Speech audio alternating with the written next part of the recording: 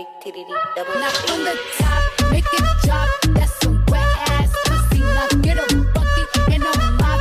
That's some wet ass pussy. Yana, I'm a freak bitch. Handcuffed